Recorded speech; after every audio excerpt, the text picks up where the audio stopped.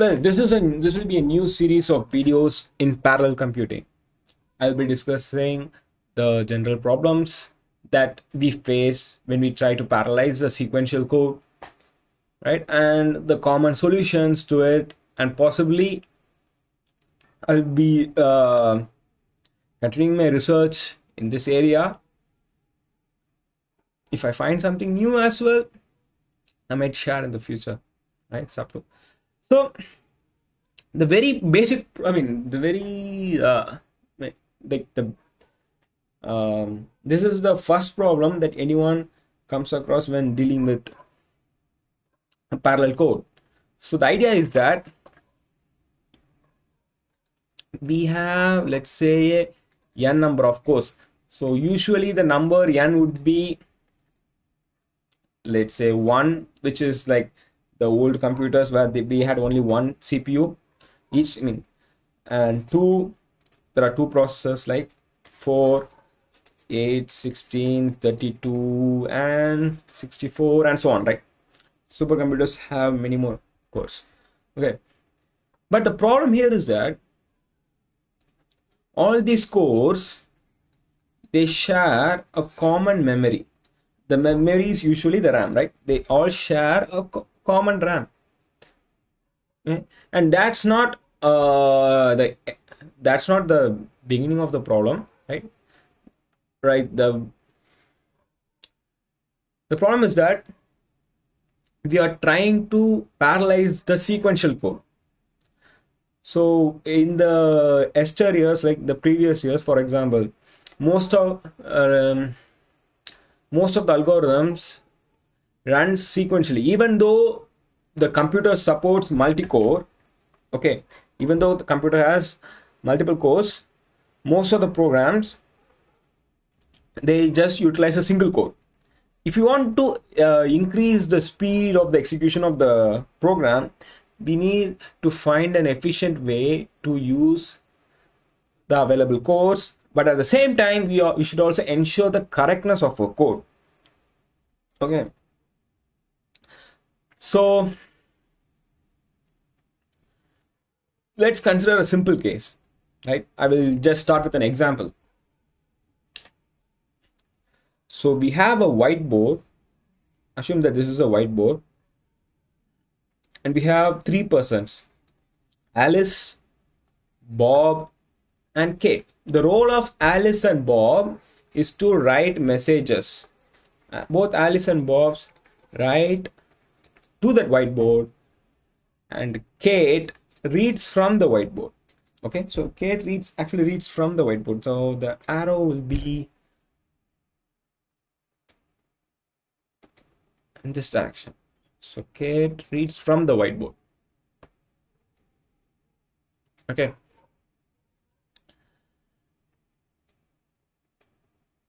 Assume that uh, alice starts to write a message in the whiteboard so alice starts with h and proceeds to write E.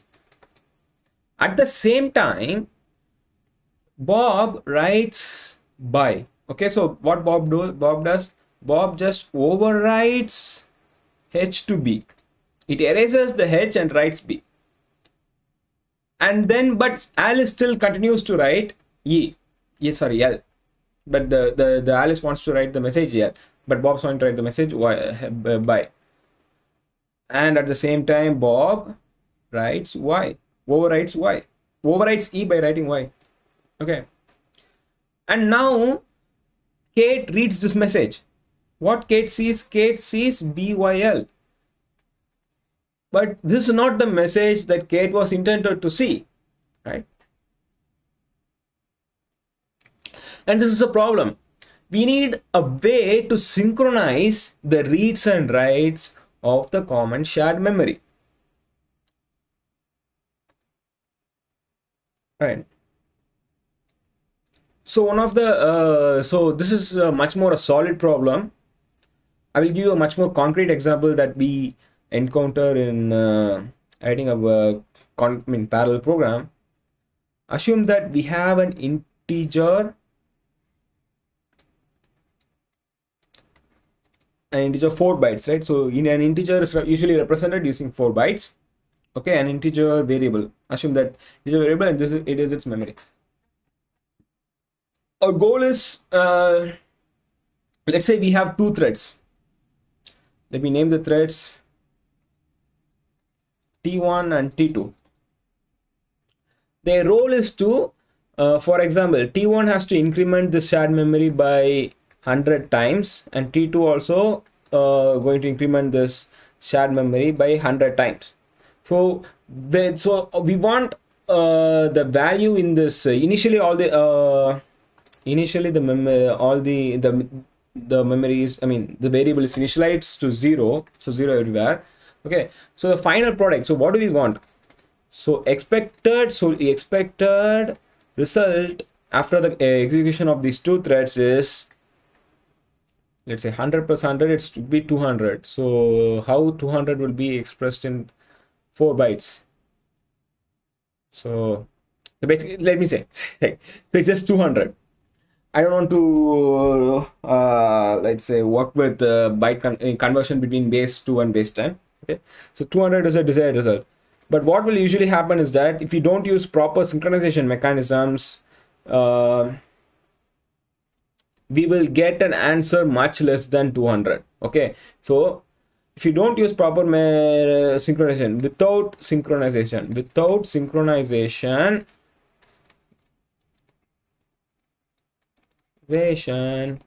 the answer would be less than 200 so why that is the case? Because let's say initially both uh, t1 both t1 and t2 reads 0 right? Then in the next iteration t1 writes 1 okay next t1 writes 1 t2 also computes increment. So t2 also computes the increment of 0 to be 1 okay then t2 also writes 1 but both t1 and t2 has incremented right? So the result should, should ideally the result should be 2 but that's not what we observe okay we will only observe one. So let me uh, show you in real time. Mm, with the code okay? The parallel code. Sure.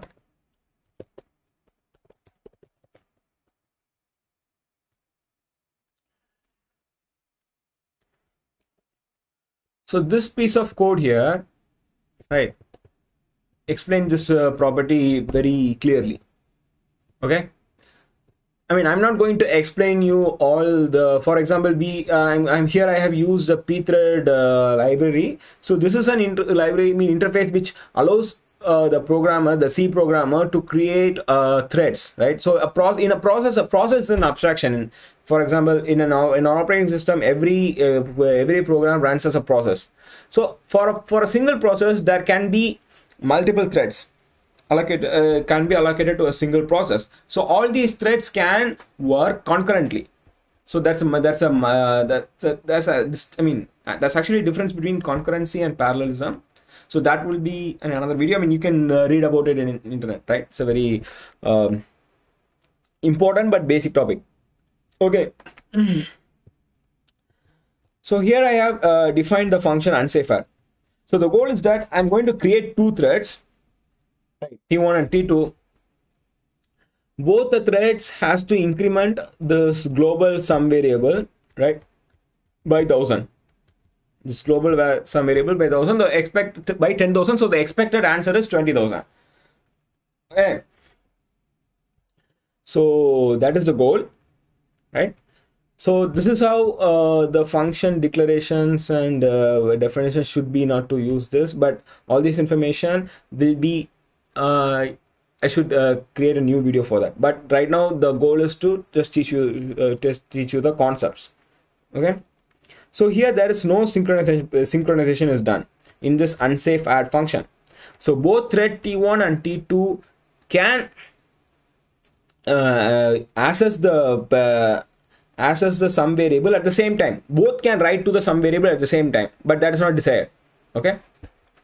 But in the safe add function we use a synchronization primitive called lock right? So because of the synchronization primitive this piece of code this piece of code will only be allowed to execute by a single thread.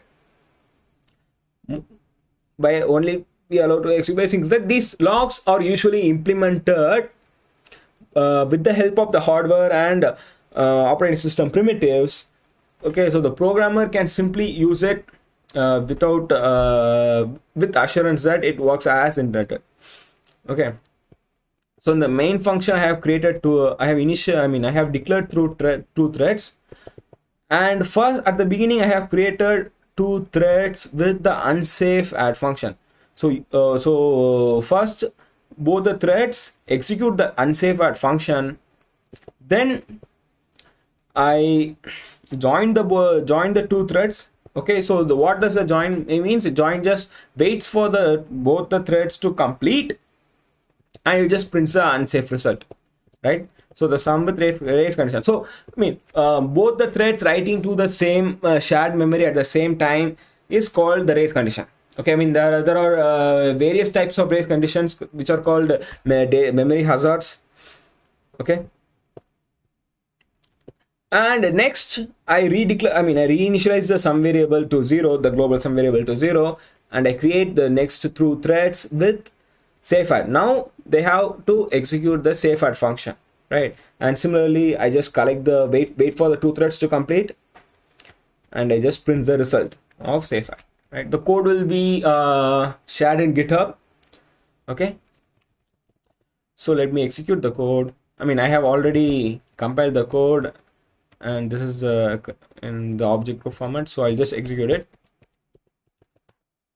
Right? So you, as you can see the sum with race condition is actually is, uh, something like 15670 and the safe sum is 20000 so every time you execute it you will get a different result. Wow so here we have get got the exact result but it's actually a miracle.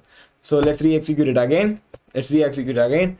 Again again again again and every time there's a different result. And this is not expected behavior right? Every time different result. Okay. What you should know is that sometimes sometimes the code just uh, returns a correct value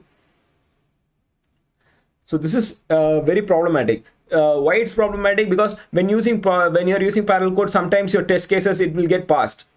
But when the uh, when, when it goes to production it fails right? You you never want that to happen. You want all the failures to happen during production time right? Yeah. So as you can see every time the result of the unsafe addition is less than 20 less than or equal to 20000 okay so that's it for this video. Uh, i hope to see you in the next one. Please like and subscribe for new videos almost every day. Thank you